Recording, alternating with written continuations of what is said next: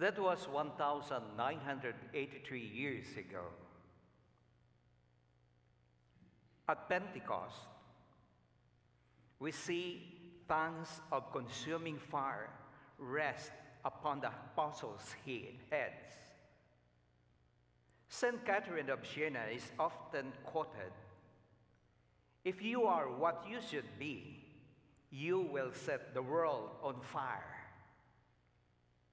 We can only be our true selves when we allow the Spirit of God to guide us to what God intends us to be. We need to allow the Spirit to teach us the one same language that unites us with God and others. Only one language can change the world.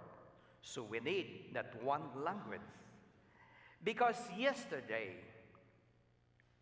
on the vigil mass of the Pentecost, we remember how the different languages in the book of Genesis, when people build the Tower of Babel, the symbol of pride, they are scattered because of the many languages. So only one language then can change and unite the world the language of love, the language of the heart that will unite the whole world, the language of love of Christ, the language of the heart. Remember, the language of the heart, take note of the word heart so that you will remember. Etch, hear, and understand the word of God. Again, etch, hear, and understand the word of God. E, express this humbly in our lives with love. Again, E, express this, what we hear and understand in the Word of God, express this humbly in our lives with love. A, accept and acknowledge others' gifts and skills, not focusing only of ourselves, but accept and acknowledge others' gifts and skill. R. Remember all the Lord has done in our lives and thank Him. We always, you know, sing in our masses this R. Remember because we are the people of remembrance. That's why today we remember 1,983 years ago when the apostles gathered the apple. And the Holy Spirit descended on them. Or, remember, right? We always sing this at the bus. We remember how you loved us through your death, and still we celebrate, for you are with us here. And we believe that we will see you when you come. In your glory, Lord, we remember, we celebrate, we believe. That's why we gathered every Sunday to remember because we are the people of the remembrance. So, R, remember. T, teach. Teach others with humility and love. T, teach others with humility and love.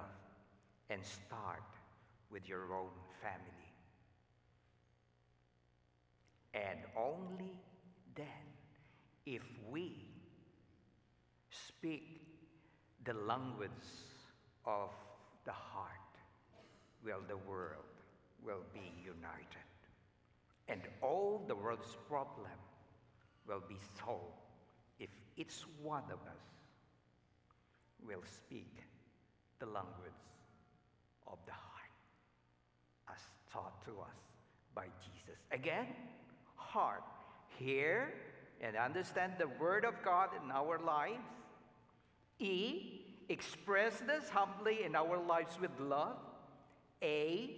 Accept and acknowledge others' gifts and skills. R. Remember all the Lord has done in our lives and thank Him. And T. Teach others with humility and love. Start with your own family because the revelation is complete, but the understanding goes on thanks to the working of the Holy Spirit. So, as, the, as Jesus on today's gospel reading breathed unto his disciples, receive the Holy Spirit. Again, we remember that today. And once again, renew that spirit we received when we were baptized, nourished when we first received Him in the first Holy Communion, and strengthened when we were confirmed. So once again, imagine that Jesus, 1,982 years ago, breathed unto His disciples the Holy Spirit. Today, we also receive the Holy Spirit as Jesus breathed unto us the Holy Spirit that bring peace. Only with the world speak the language of the heart will all the problem in the world will be solved. But start within your family. Because when every family speaks the language of the heart, what a bright world this would be.